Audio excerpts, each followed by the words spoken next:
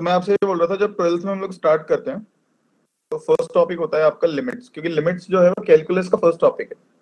अगर आप लिमिट आपको समझ में नहीं आएगा तो आपको कैलकुलस वाला पार्ट जो आगे जैसे इंटीग्रेशन हो गया डेफिनेट इंटीग्रेशन हो गया कंटिन्यूटी डिफरेंशियबिलिटी ये वाला टॉपिक कुछ भी समझ में नहीं आएगा। तो लिमिट्स पढ़ना बहुत ज़रूरी है। तो इसलिए फ़र्स्ट टॉपिक मैंने पिक किया है, आज की पहली क्लास के लिए। ठीक है? तो लेट्स स्टार्ट करते हैं आगे। लिमिट समझते हैं क्या होगा, इसकी डेफिनेशन क्या है और उसका मतलब क्या है।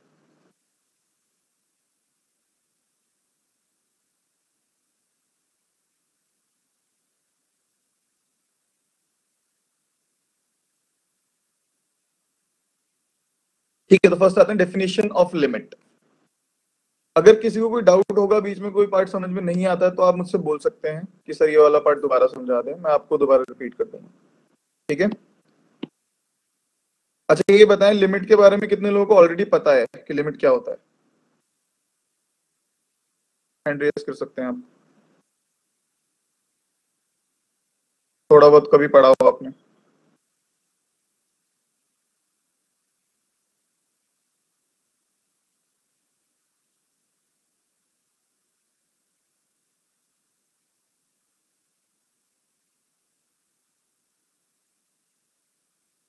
तो डेफिनेशन हम लोग रीड करेंगे। बोलता है कि we write limit extending to a f x equals to l the limit of f x as x approaches to a equals l इसका मतलब क्या होता है आपका? Limit extending to a f x equals to l का मतलब ये होता है कि एफ़ एक्स की वो वैल्यू जब एक्स ए को अप्रोच कर जाए। और वो वैल्यू कितनी आएगी आपकी? एल के बराबर। तो हम लोग उसको बोल देंगे limit of f x at x equals to a अब ये बोलता है if we can make the value of f x arbitrary close to l by taking x to be sufficiently close to a on either side of a but not equals to a. इसका आगे का meaning क्या बोल रहा है ये आपसे कि आपने fx की वैल्यू एल के क्लोज कर दी by making the value of x close to a. जैसे जैसे आप एक्स की वैल्यू ए के क्लोज करते जाएँगे तो एफ़ एक्स की वैल्यू एल के क्लोज चली जाएगी।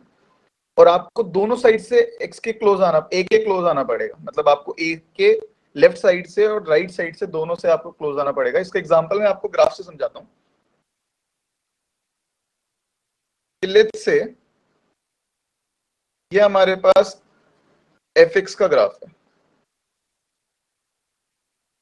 और यहाँ पर ये x की वैल्यू a के बराबर है।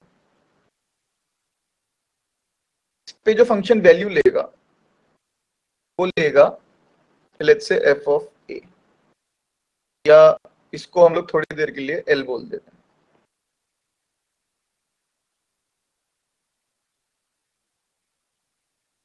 इज़ इक्वल्स टू एल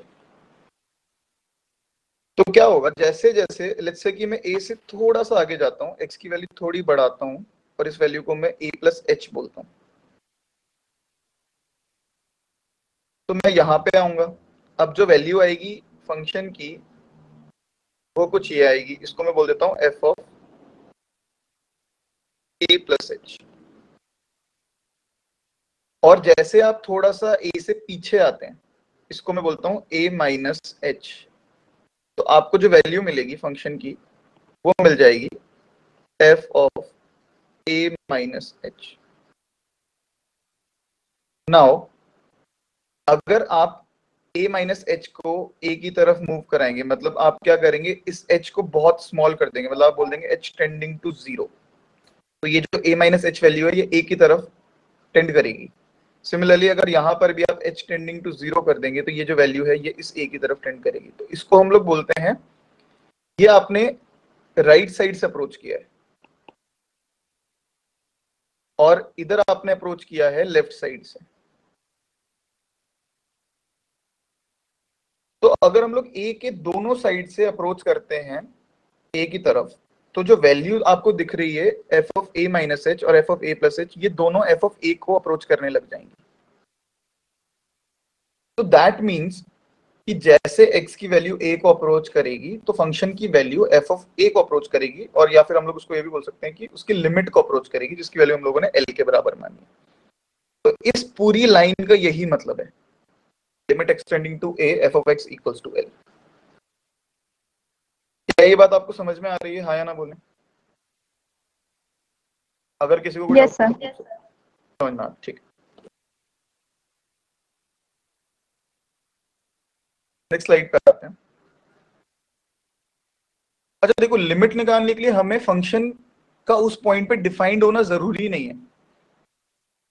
ये बात आपको समझनी पड़ेगी बहुत इंपॉर्टेंट बात है। जैसे मैं आपसे सर सर आपकी आवाज़ सर आपकी आवाज़ लाउडली नहीं आ रही थोड़ा लाउडली बोल सकते हैं सर मैं ट्राई करता हूँ।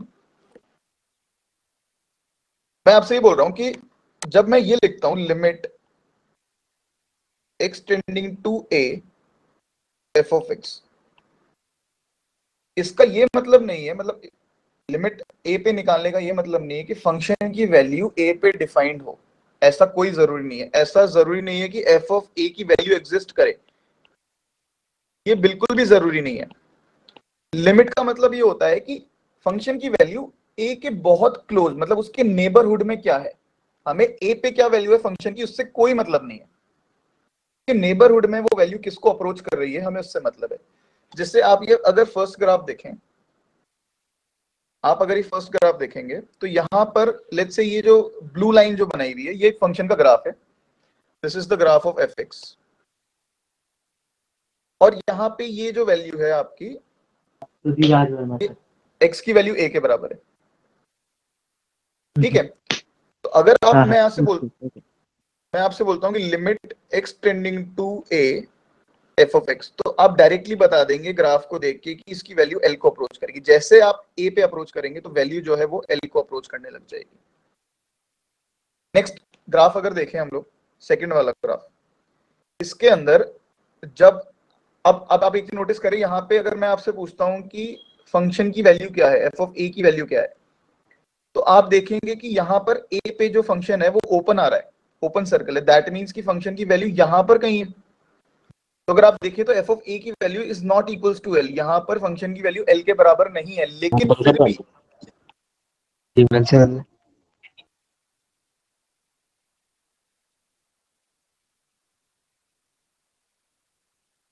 लेकिन फिर भी लिमिट अगर आप निकालते हैं एक्सटेंडिंग टू ए पर तब भी वो एल के बराबर आएगी। बिकॉज़ ए के आसपास ए के नेबरहुड में अगर आप देखेंगे तो वैल्यू जो है, वो एल की तरफ़ ही अप्रोच करती हुई नज़र आएगी। तो आप अगर ढंग से देखना चाहें तो ये कहने का मतलब ये है कि जो ग्राफ है वो ए के आसपास एल की तरफ़ अप्रोच कर रहा है। ठीक है सिमिलरली अगर आप थर्ड ग्राफ देखेंगे तो यहाँ पर एफ़ ऑफ़ ए तो डिफाइंड ही नहीं है। क्योंकि एफ़ ऑफ़ ए पे ओपन सर्कल है तो एफ़ ऑफ़ ए की वैल्यू डिफाइंड ही नहीं है। लेकिन फिर भी अगर आप लिमिट निकालते हैं extending to a f of x की तब भी वो एल के बराबर आएगी क्योंकि मुझे दिख रहा है कि ए के नेबरहुड में जो वैल्यू है फ़ंक्शन की वो एल को अप्रोच कर रही है। क्या ये बात क्लियर है? समझ में आ रहा है? यस सर यस सर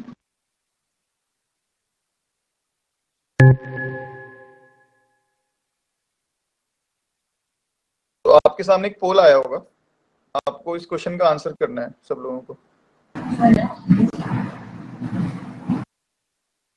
अर्फिना आप भी आंसर कर दें प्लीज़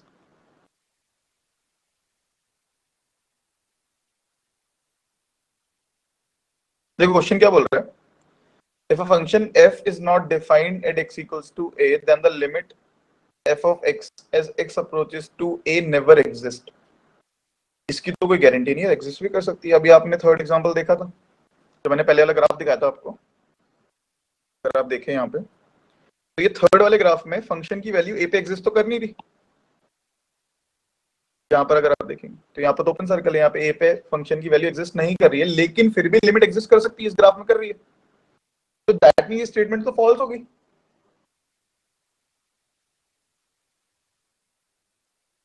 समझ में आ रहा है? तो लिमिट एग्जिस्ट कर सकती है। अगर आपकी फ़ंक्शन की ए पे वैल्यू एग्जिस्ट नहीं करती है, तब भी आपकी limit extending to a f of x exist कर सकती है। यहाँ पे डज नॉट था।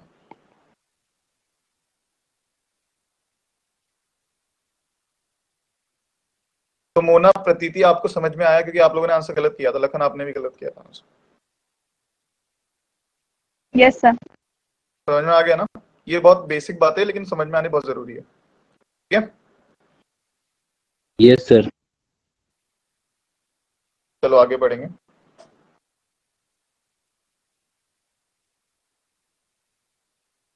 तो लेट्स से कि ये क्वेश्चन है आपके पास कि हमें गेस करना है कि इसकी जो वैल्यू है limit extending to one x square minus one upon x minus one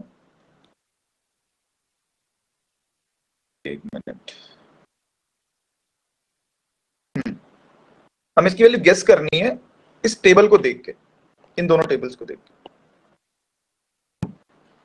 अच्छा ये देखो, ये फ़ंक्शन जो गिवन है, ये फ़ंक्शन है आपका x square minus one upon x minus one और इसमें क्या किया आपने सबसे पहले वन को, देखो लिमिट कहाँ पे निकालनी है? वन पे निकालनी है। तो आपने वन को पहले लेफ़्ट साइड से अप्रोच किया।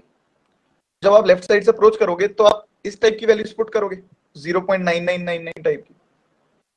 तो जब आपने x square minus one upon x minus one में एक्स की value zero point nine nine nine put करी तो वैल्यू कितनी आती है? One point nine nine nine nine similarly आपने जब x की वैल्यू 0.999 पुट करी तो वैल्यू आती है 1.999 फिर आपने जब 0.99 पुट किया तो वैल्यू आती है 1.99 फिर आपने जब 0.9 पुट किया तो वैल्यू आती है 1.9 0.5 पुट किया तो वैल्यू आती है 1.5 इस डेटा को देख के मैं ये आइडिया लगा पा रहा हूँ कि जैसे जैसे x की वैल्यू 1 को अप्रोच करिए देखो यहाँ पे हम लोग 1 से सबसे दूर थे और यहाँ पे 1 से सबसे क्लोज आ गए।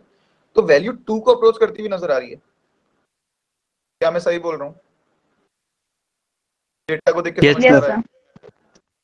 सिमिलरली जब आपने x की वैल्यू वन से बड़ी पुट करी तो आपने सबसे पहले 1.5 पुट किया इस फ़ंक्शन के अंदर यहाँ पे पुट किया। तो आपको जो वैल्यू मिली वो 2.5 मिली। फिर आपने 1.1 पुट किया तो 2.1 मिली। फिर आपने 1.01 पुट किया तो वैल्यू 2.01 मिली। फिर आपने 1.001 पुट किया तो वैल्यू मिली 2.001 फिर आपने 1.001 पुट किया तो 2.001 आपको वैल्यू मिली। तो यहाँ पर इसको देख के समझ में आ रहा है कि जब आप राइट साइड से अप्रोच कर रहे हैं वन को तो आपकी वैल्यू टू को अप्रोच कर रही है। ये भी समझ में आ रहा है। है ना? यस सर तो इस डेटा को देख के क्या मैं आइडिया लगा सकता हूँ कि इस फ़ंक्शन की वैल्यू फ़ंक्शन की लिमिट वन पे टू आएगी? बोल सकते हैं ना ये बात? क्योंकि आपने लेफ़्ट साइड से जब वन को अप्रोच किया, तब भी वैल्यू टू को टेंड कर रही है और जब राइट right साइड से किया, तब भी टू को टेंड कर रही है। तो दैट मीन्स की लिमिट कितनी हो गई? टू हो गई। यही तो मतलब होता है लिमिट का। उसकी लिमिटिंग वैल्यू कितनी है? ठीक है ना? नेक्स्ट अच्छा ये ये जो क्वेश्चन है इसमें कई लोग ये सोच रहे होंगे कि सर आप इसको ऐसे कर लो।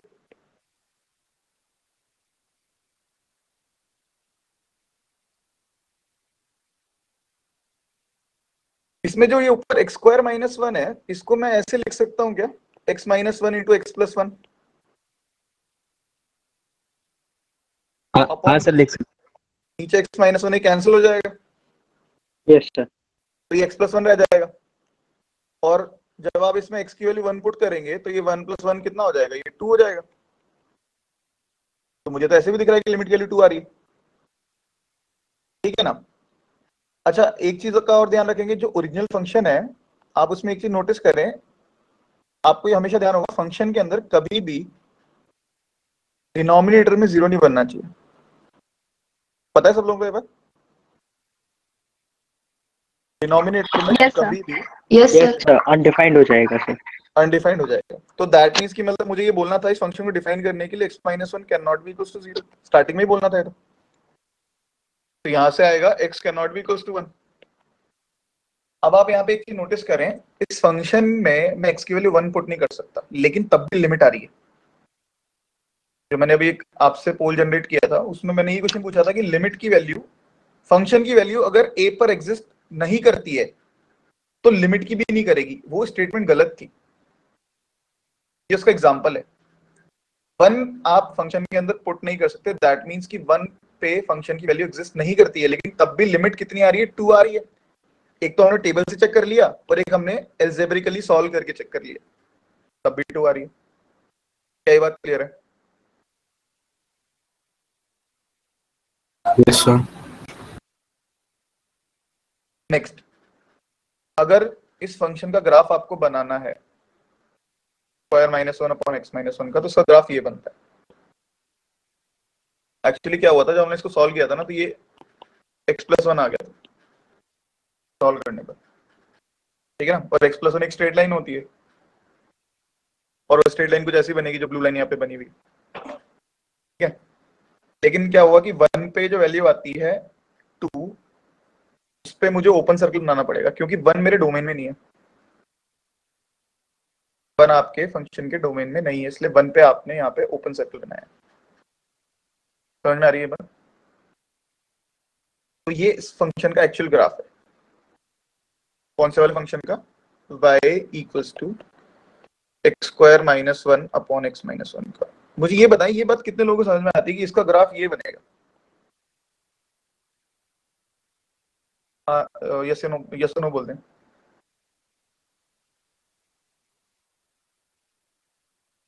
नो सर नहीं समझ में आ रहा है ना?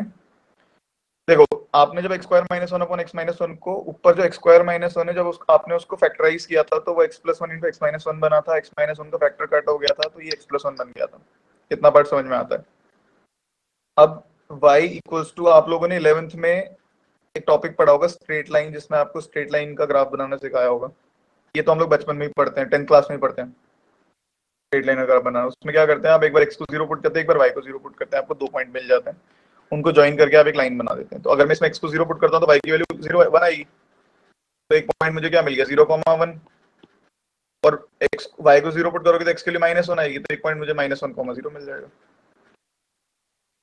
तो आप क्या करोगे कोऑर्डिनेट सिस्टम पे एक तो माइनस वन कॉमा ज़ीरो वाला पॉइंट प्लॉट करोगे, एक ज़ीरो कॉमा वन वाला प्लॉट करोगे और इसको पॉइंट्स को ज्वाइन करके एक लाइन बना दोगे तो ये आपकी लाइन की इक्वेशन बन जाएगी। ग्राफ बन गया ये। अब आपको क्या करना है, आपको एक चीज़ का ध्यान रखना है कि नीचे x माइनस वन था तो इसलिए मैं x के लिए वन पुट नहीं कर सकता, इसलिए आपको वन पे एक ओपन सर्कल देना पड़ेगा, जैसे इन्होंने यहाँ बना रखा है ठीक है? ये इसका ग्राफ बनेगा। अब आपने क्या किया, इस फ़ंक्शन को दोबारा डिफाइन किया और आपने बोल दिया कि x इक्वल्स टू वन पे जो वैल्यू है वो वन है। मान लिया आपने कि जब x की वैल्यू वन के बराबर नहीं है, तब तो फ़ंक्शन यही है मेरा। लेकिन जब x की वैल्यू वन के बराबर है, तब मेरी वैल्यू वन मैंने मान ली। ऐसा मान लिया आपने इसको दोबारा डिफाइन कर दिया। तो अब मेरा ग्राफ ये बन जाएगा, देखो, अब वन पे पॉइंट ये आ जाएगा मेरे पास। यहाँ पे इन्होंने जो बना रखा है। तो ग्राफ कुछ ऐसा बन गया। मतलब वन पे ऊपर ओपन सर्कल है और नीचे आपने क्या करा? उस पॉइंट को खिसका के आपने नीचे ले गए और उसकी वैल्यू वन के बराबर कर दी। लेकिन तब भी, अभी भी दोनों फ़ंक्शन में जो लिमिट आ रही है वन पे, वो अभी भी टू रहेगी, क्योंकि आपको ये देखना है कि बस अप्रोच जब आप करोगे वन को, दोनों साइड से तो वैल्यू किसको टेंड करनी चाहिए? तो दिख रहा है कि टू को कर रही है। यहाँ पर भी ये हो रहा है। जैसे आप इधर अप्रोच कर रहे हो तो वैल्यू किसको टेंड कर रही है? टू को कर रही है। आई थिंक ये समझ में आ रहा होगा लिमिट का कंसेप्ट क्या मतलब है? ठीक है? ठीक है। इसमें देखेंगे फाइव फंडामेंटल थ्योरम्स हैं। अगर आपको ये पता है कि लिमिट एक्सटेंडिंग टू ए पर एफ़ एक्स की लिमिट एग्जिस्ट करती है। और आपको ये भी पता है कि लिमिट एक्सटेंडिंग टू ए पर एक्स की लिमिट भी एग्जिस्ट करती है। अगर आपको ये पता है, ठीक है? तो अगर मुझे लिमिट निकालनी है एक्सटेंडिंग टू ए पर f x plus g x की। अगर मुझे इसकी लिमिट निकालनी है तो आप इसको ऐसे भी लिख सकते हैं। Limit x tending to a f x plus limit x tending to a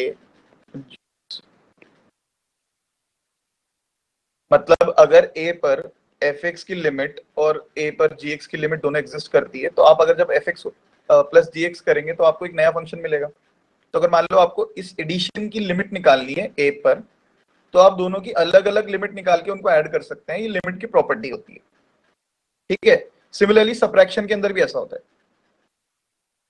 अगर आपको f x minus g x की लिमिट निकालनी एक्सटेंडिंग टू ए पर तो आप एफ़ एक्स की लिमिट अलग से निकाल दें जी एक्स की अलग से निकाल दें, दोनों को सब्ट्रैक्ट कर दें। ठीक है? सेकंड है इसका। अगर मुझे लिमिट निकालनी है, x tending to a, k times of f x की। ये बराबर आता है k times of limit x tending to a f of x की। कहने का मतलब ये हो गया कि अगर कोई फ़ंक्शन किसी कांस्टेंट नंबर से मल्टीप्लाइड है तो कांस्टेंट का लिमिट पे कोई फ़र्क नहीं पड़ता। आप उसको लिमिट से बाहर निकाल सकते हैं और फ़ंक्शन की लिमिट निकाल सकते हैं अलग से और कांस्टेंट को बाद में मल्टीप्लाई कर दें।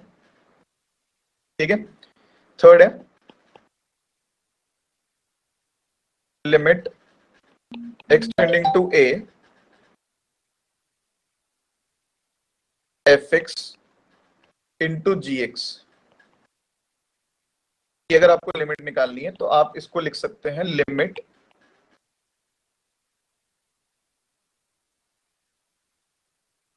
X tending to a, fx multiplied by limit. X to a g x मतलब मल्टीप्लीकेशन में भी सेम यही फंडा लग जाएगा जो फ़र्स्ट में लगाया था आपने, कि आप लिमिट की वैल्यू अलग अलग निकाल के उनको मल्टीप्लाई कर सकते हैं। इसमें कोई इशू नहीं है। नेक्स्ट फोर्थ प्रॉपर्टी है आपकी। Limit x to a f x upon g x को आप लिख सकते हैं limit x tending to f x upon limit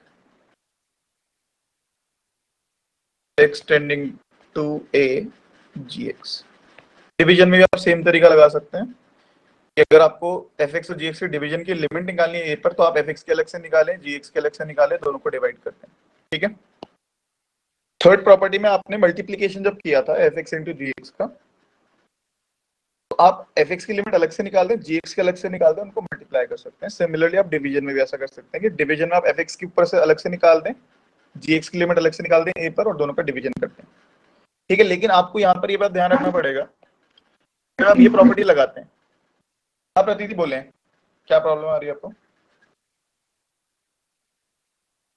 Sir one doubt is there sir हाँ पूछो। सर मैं थोड़ा सा लेट ज्वाइन हुआ था। ये सर क्लास 11th के लिए है ना सर क्योंकि ये थोड़ा सा बेसिक अच्छा अच्छा। वो क्या मुझे क्लियर नहीं हो रहा था इसमें कुछ नहीं आप मतलब मुझे आइडिया नहीं है वैसे तो जनरली जेई के लिए तो ट्वेल्थ में पढ़ाया जाता है टॉपिक लिमिट से हाँ सर वही इलेवेंथ मेरे को आइडिया नहीं। मैं जस्ट एंटर्ड हूँ सर इलेवेंथ में।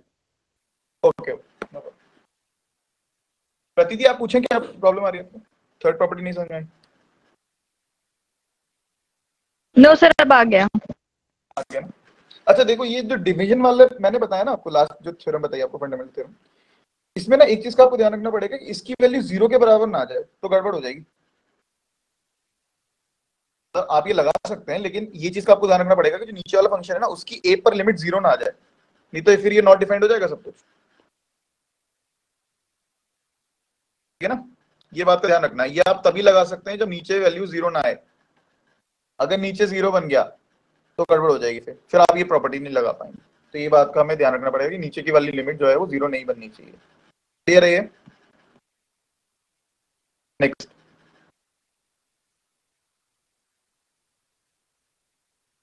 तो फ़ंक्शन की दो लिमिट होती है।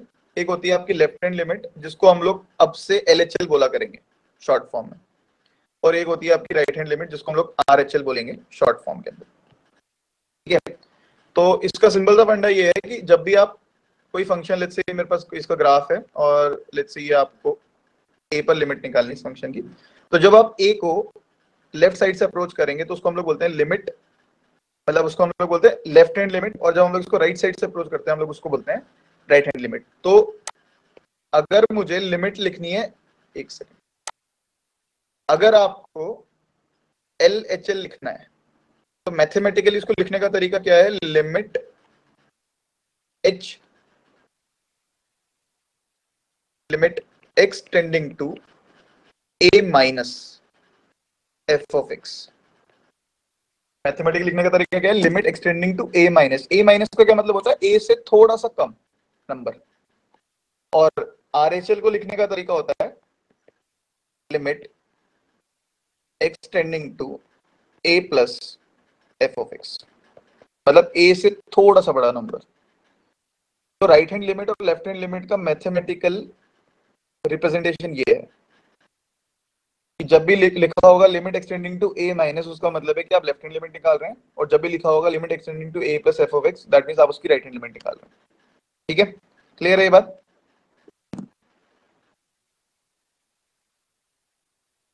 Yes, sir. Yes, sir.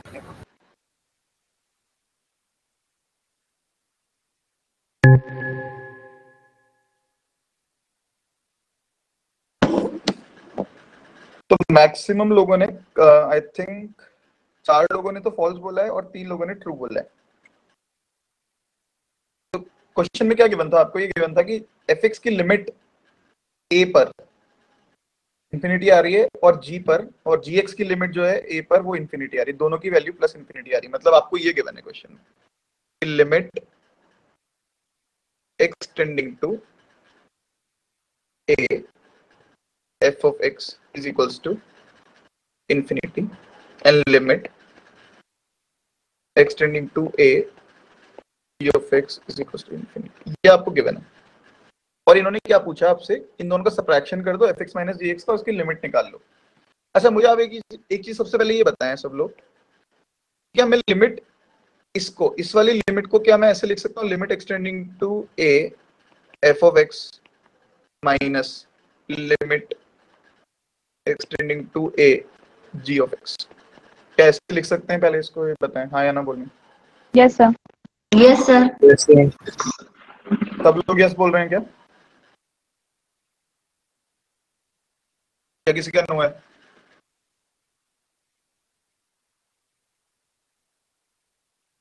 किसी का भी नो नहीं है। मैंने क्या बोला था आपको, जब मैंने फंडामेंटल थ्योरम बताई थी ना स्टार्टिंग में, मैंने आपसे बोला था कि एफ़ एक्स और जीएक्स की लिमिट जो है ए पर अगर एग्जिस्ट करती है, अगर एग्जिस्ट करती है, तब आप ये फंडामेंटल थ्योरम लगा सकते हैं। तो यहाँ पर क्या लिमिट एग्जिस्ट कर रही है? एफ़ एक्स और जी एक्स की ए पर।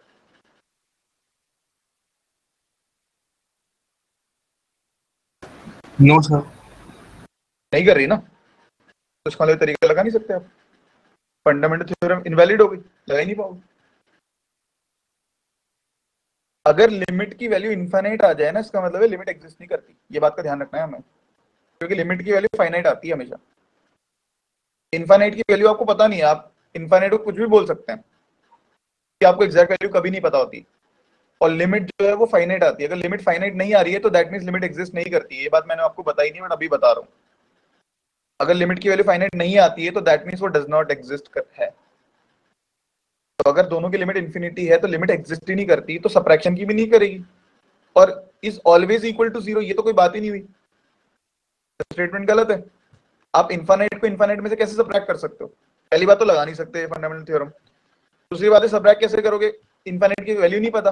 अब मैं टू माइनस टू तो मुझे पता है कि ज़ीरो आएगा। फोर माइनस फोर मुझे पता है ज़ीरो आएगा। लेकिन इन्फानाइट माइनस इन्फानाइट की वैल्यू आपको नहीं पता। कुछ भी हो सकती है। और ये मैं आगे बताऊँगा कि इन्फाइनाइट माइनस इन्फाइनाइट की वैल्यू कुछ भी आ सकती है। वन भी आ सकती है टू भी आ सकती है थ्री भी आ सकती है। क्योंकि वो एक इनडिटर्मिनेट फॉर्म है। जिन लोगों ने पढ़ा हुआ है लिमिट उनको आइडिया होगा ये। मैं क्या बोल रहा हूँ? ठीक है? तो इसका आंसर आएगा फॉल्स नेक्स्ट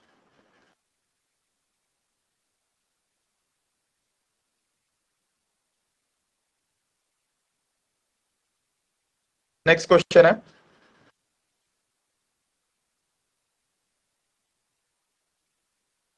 अच्छा ये तो वही आंसर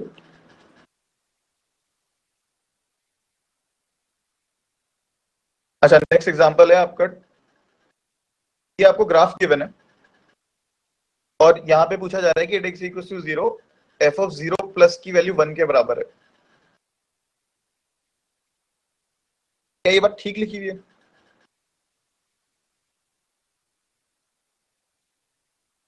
अगर आप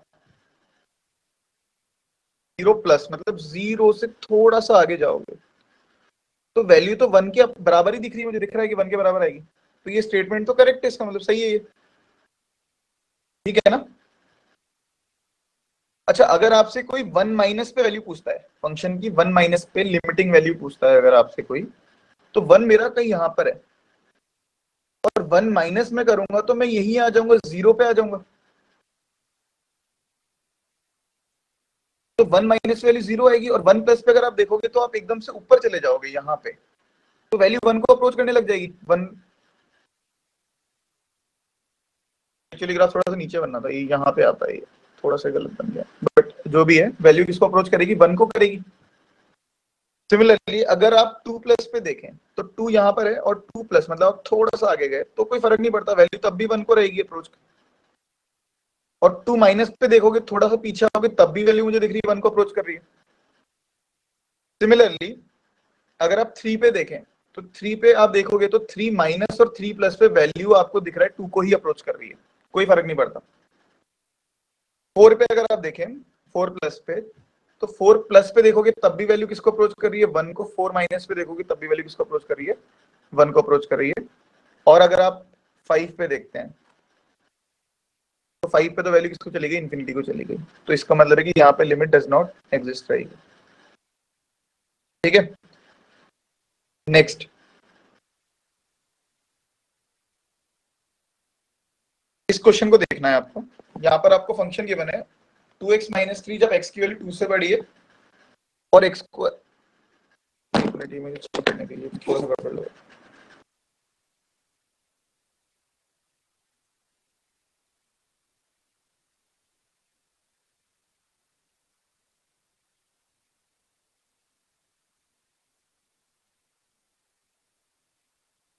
ये four minus x square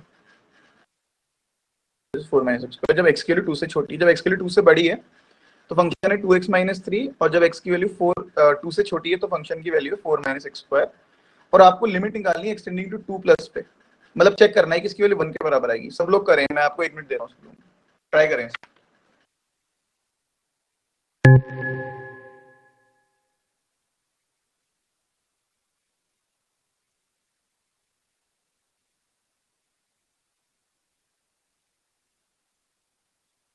polling वाला चीज़ हटा दें, इसमें क्वेश्चन ढंग से टाइप नहीं हो रखा। था आप यहीं पर ही करें। आपको लिमिट बतानी है x tending to two plus पे एफ़ की वन के बराबर आएगी कि नहीं आएगी। ये क्वेश्चन ये हमें सीखना पड़ेगा कि लिमिट कैसे निकालते हैं फ़ंक्शन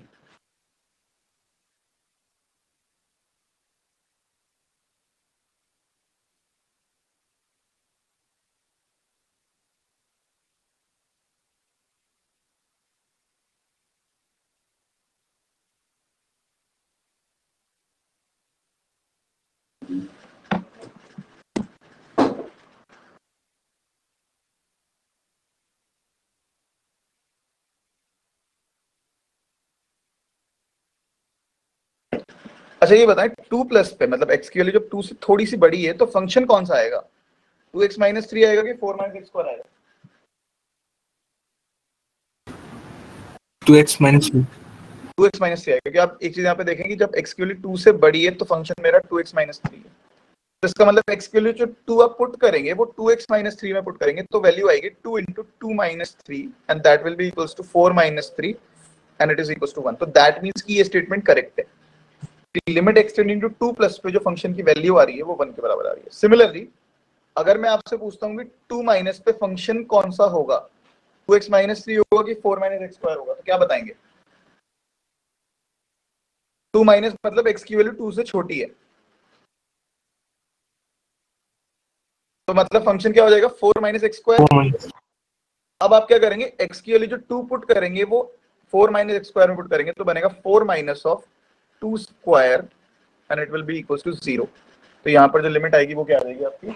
ज़ीरो आ जाएगी। क्या ये बात क्लियर है? कि आपने लिमिट कैसे कैलकुलेट करी? टू प्लस पे कैसे कैलकुलेट करी और टू माइनस पे कैसे कैलकुलेट टू प्लस पे आपको दिख गया कि function two x minus three है। टू माइनस पे आपको दिख गया कि function four minus x square है। और सिमिलरली आपने टू जो वैल्यू पुट करी है वो फ़ंक्शन को देख के पुट करी है कौन सा फ़ंक्शन आपको पिक करना पड़ेगा। क्लियर है नेक्स्ट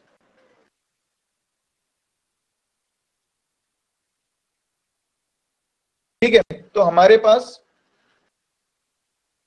सेवन इनडिटर्मिनेंट फॉर्म्स होते हैं। फ़र्स्ट है आपका ज़ीरो अपॉन ज़ीरो सेकेंड है आपका इंफिनिटी अपॉन इंफिनिटी थर्ड है इन्फानाइट माइनस इन्फानाइट फोर्थ है ज़ीरो इंटू इन्फानाइट फिफ्थ है वन पावर इन्फाइनाइट सिक्स है zero power zero and seventh है infinite power zero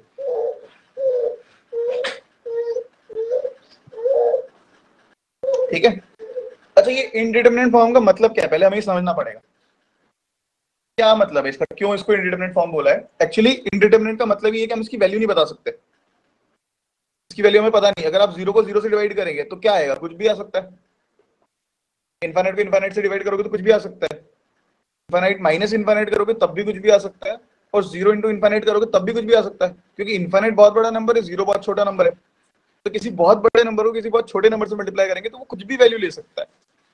similarly one की पावर इन्फाइनाइट वन की power आप कुछ भी रखो वन ही रहता है। लेकिन वन की पावर अगर आप बहुत बड़ा नंबर रख दोगे तो हो सकता है कि वो वन ना रहे, कुछ और हो जाए। ठीक है ना? सिमिलरली ज़ीरो की पावर ज़ीरो भी एक इंडिपेंडेंट फॉर्म है कि किसी की भी पावर ज़ीरो वन आता है, लेकिन ज़ीरो की पावर ज़ीरो कुछ भी हो सकता है। और इन्फानाइट की पावर ज़ीरो इंडिपेंडेंट फॉर्म है बिकॉज़ किसी की पावर ज़ीरो वन आता है, लेकिन बहुत बड़े नंबर की पावर हो सकता है ज़ीरो वन ना आए। कुछ और आ जाए। क्या बस समझ में आ रही है?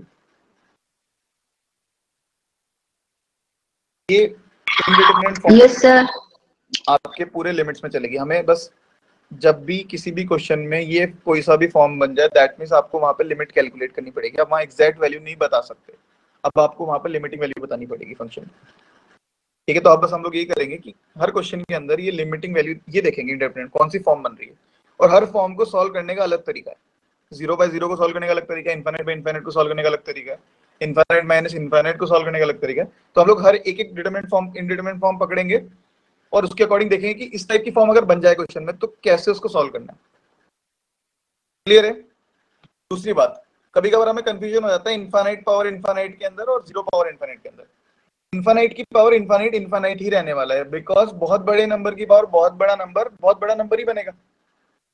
इंडिटरमिनेट वाली कोई बात नहीं है। वो हमें पता है कि इन्फानाइट आना सिमिलरली ज़ीरो की पावर इन्फानाइट ज़ीरो बनेगा। अगर आप बहुत छोटे नंबर को बहुत बार मल्टीप्लाई कर दोगे तो बहुत छोटा नंबर आएगा। अगर मैं बोलूँ कि one by two one by two को मल्टीप्लाई करते चलो इन्फानेट टाइम्स तो वो बहुत छोटा नंबर नहीं हो जाएगा। नीचे टू की पावर इन्फानेट बन जाएगी। वो ज़ीरो को अप्रोच करने लग जाएगा।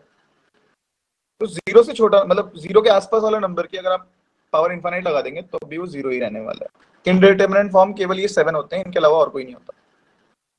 क्लियर है नेक्स्ट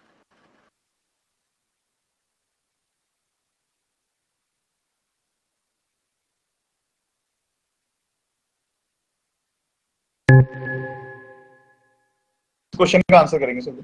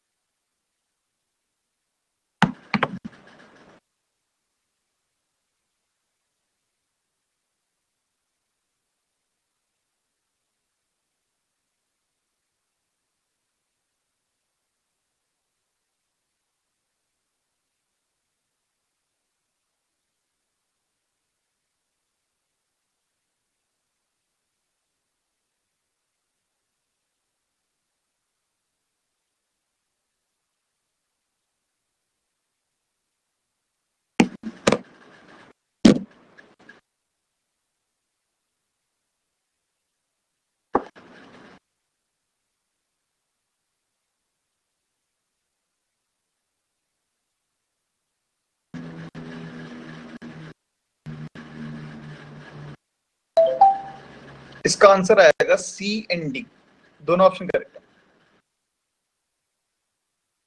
भी करेक्ट है और यहाँ पर आप एक चीज़ नोटिस करेंगे. देखो, अगर मान लो मैं एफ़ एक्स को वन अपॉन एक्स ले लू और जी एक्स को टू एक्स ले लू तो limit x tending to zero पे एफ़ एक्स की लिमिट इंफिनिटी आएगी और limit x tending to zero पे जी एक्स की लिमिट ज़ीरो आएगी। ठीक है ना? मतलब ये दोनों कंडीशन सेटिस्फाई कर रहा है अगर आप इनको मल्टीप्लाई कर दें तो एक्स एक्स कट जाएगा और टू रह जाएगा। और अगर आप लिमिट निकालोगे एक्सटेंडिंग टू ज़ीरो पे टू की तो टू ही आएगा आंसर तो इसका मतलब है कि फाइनाइट आ सकता है आंसर मल्टीप्लीकेशन में। कई बार क्लियर है?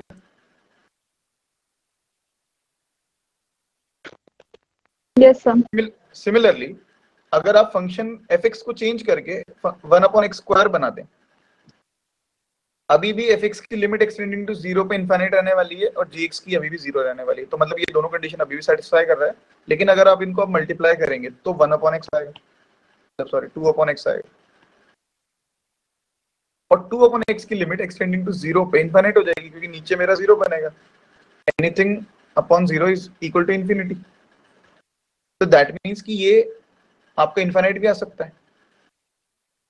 तो सेकंड सी स्टेटमेंट भी करेक्ट होगी अब हमेशा ज़ीरो रहे, ये तो कोई बात नहीं हुई। ये तो कुछ भी आंसर ले सकता है। ये तो इन्फाइनाइट भी ले रहा है फाइनाइट भी ले रहा है। अभी मैंने आपको दिखाया टू भी आ रहा है आंसर तो इज़ ऑलवेज इक्वल टू ये स्टेटमेंट गलत हो गई।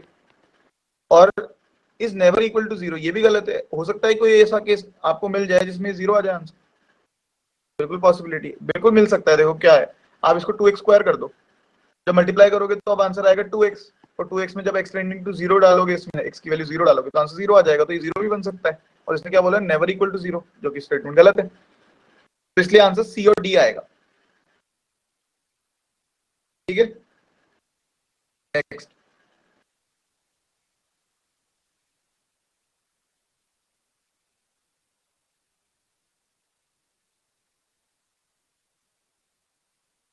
ठीक है आज के लिए इतना ही करेंगे हम लोग।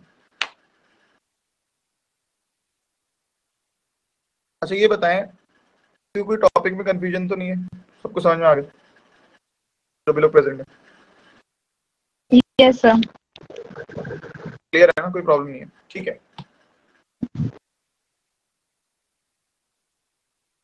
तो क्लास ओवर करते हैं आज की। ठीक है?